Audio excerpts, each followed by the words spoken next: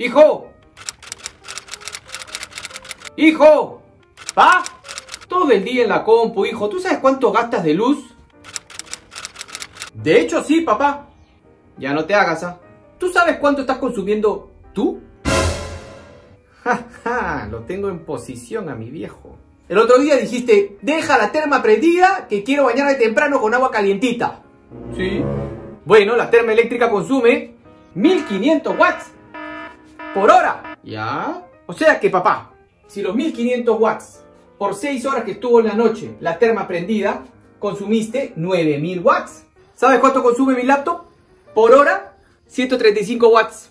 ¿En serio? Entonces, los 9000 watts que consumiste tú porque no quisiste apagar la terma eléctrica, si lo dividimos entre los 135 watts que consume mi laptop, son 66 horas. 11 veces más, papá.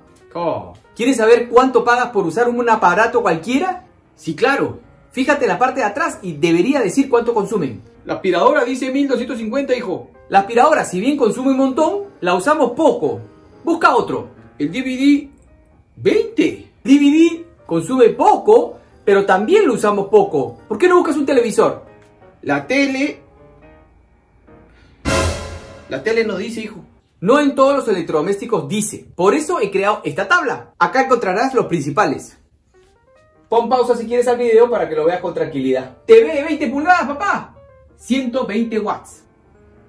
Consideremos que un televisor de 20 pulgadas es un televisor pequeño. Consume 120 watts. Y vamos a sacar cuánto sería el costo por una hora de uso. Así podemos ayudar a todos los que nos están mirando. 120 watts por una hora al día por 30 días al mes. ¿Y esto cuánto me sale?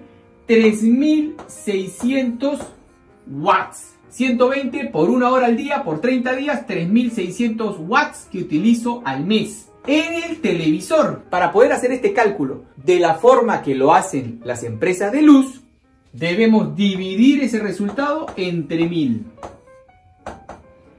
3.6.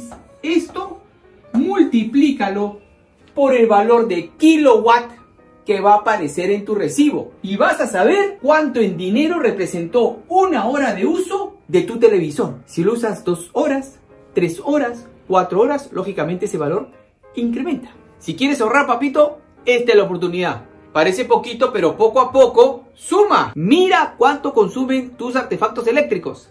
Hazte una idea de cuánto tiempo lo usas al día. Pueden consumir mucho, como un microondas, pero lo usas poquito durante el día. Pero si fuera el caso, por ejemplo, de una cocina eléctrica, consume mucho y la usas más de una hora por día. Gracias, hijito. ¿ah? Buen dato. Voy a poner más atención en los watts. Total, está atrás de los electrodomésticos en la mayoría. El ahorro va a ser un montón. Bien, hijo. ¿ah? Punto para mi hijo.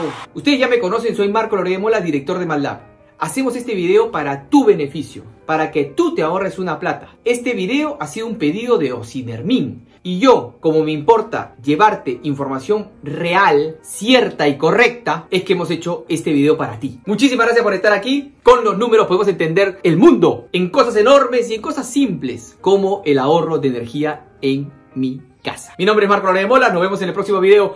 ¡Chau!